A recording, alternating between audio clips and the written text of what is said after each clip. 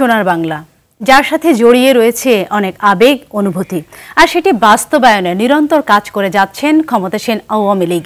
তাই তো পঞ্চমবারের মতো নতুন মন্ত্রিসভা গঠন করে শপথ নিল টেকসই উন্নত জাতি হিসেবে নিজেদের গড়ে তোলা। সেই সঙ্গে ইশতেহার বাস্তবায়নের মধ্য দিয়ে স্মার্ট বাংলাদেশ গঠনে নব উদ্যমে কাজ করার প্রত্যয় ব্যক্ত করেন মন্ত্রিসভার নতুন সদস্যরা। সকালে ধানমন্ডিতে জাতির পিতার প্রতিকৃতিতে শ্রদ্ধা নিবেদন শেষে এসব কথা বলেন তারা। আরও জানাচ্ছেন বিপুল দেব রায়। নতুন সূর্য, নতুন উদ্যম, সেই সাথে নতুন প্রত্যয়। যা দেশকে নিয়ে যাবে অনেক দূর। এমন চিন্তা ভাবনা নিয়ে নতুন মন্ত্রিসভা গঠন করল আওয়ামী লীগ সরকার। শপথ গ্রহণের পরদিনেই সকালে ধানমন্ডির বত্রিশ নম্বরে জাতির পিতা বঙ্গবন্ধু শেখ মুজিবুর রহমানের প্রতিকৃতিতে শ্রদ্ধা নিবেদন শেষে মন্ত্রিসভার সদস্যরা বলেন, আগামীর বাংলাদেশ হবে টেকসই উন্নত দেশ। আমাদের জনবল কাঠামো সে একটি বিষয় রয়েছে।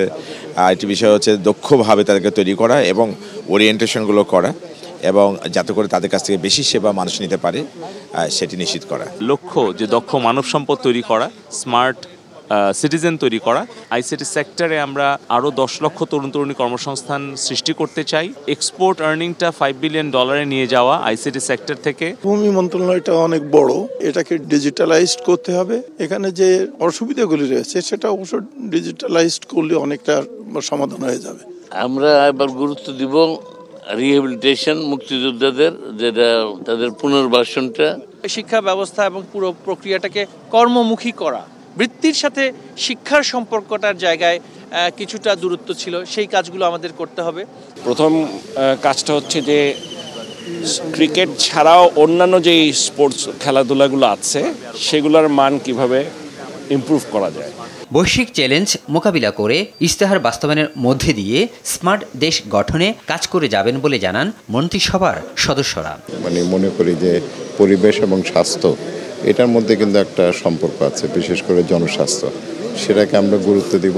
গুজব এবং অসত্য তথ্যের যে যে সমস্যাগুলি সমাজে এবং রাজনীতিতে তৈরি করে সেগুলো নিয়ে কিন্তু আমি দীর্ঘদিন কাজ করেছি। সে কারণে এটার একটা আলাদা আমার কমিটমেন্ট আছে। ধারাবাহিকভাবে যে কাজগুলি করা দরকার অবশ্যই করব নতুন কিছু করার চেষ্টা করব ইনশাল্লাহ বঙ্গবন্ধু কন্যা শেখ হাসিনা যেই নির্বাচনী ইশতেহার দিয়েছেন সেই নির্বাচনী ইশতেহার বাস্তবায়নই আমাদের মূল চ্যালেঞ্জ ইস্তেহারটা বাস্তবায়ন করব এটাই আমাদের মূল টার্গেট স্মার্ট বাংলাদেশ ইনশাল্লাহ আমরা প্রতিষ্ঠা কর- করব ইনশাল্লাহ জননেত্রী শেখ হাসিনার নেতৃত্বে সমস্ত চ্যালেঞ্জ মোকাবেলা করে দেশকে এগিয়ে নিয়ে গেছে। মাননীয় প্রধানমন্ত্রী আমাকে আস্থা রেখে পররাষ্ট্র মন্ত্রণালয়ের দায়িত্ব দিয়েছেন। ইনশাল্লাহ এই চ্যালেঞ্জ মোকাবেলা করেও আমরা দেশকে এগিয়ে নিয়ে যাব। বিগত পনেরো বছরে আওয়ামী লীগ সরকার বাংলাদেশকে এক অনন্য উচ্চতায় নিয়ে গেছে, সেই ধারাবাহিকতা বজায় রেখে সুখী সমৃদ্ধি বাংলাদেশ বিনির্মাণে মন্ত্রিসভার সদস্যরা বদ্ধপরিকর বলেও জানান তারা। Bipul Debrai, R TV Dhaka.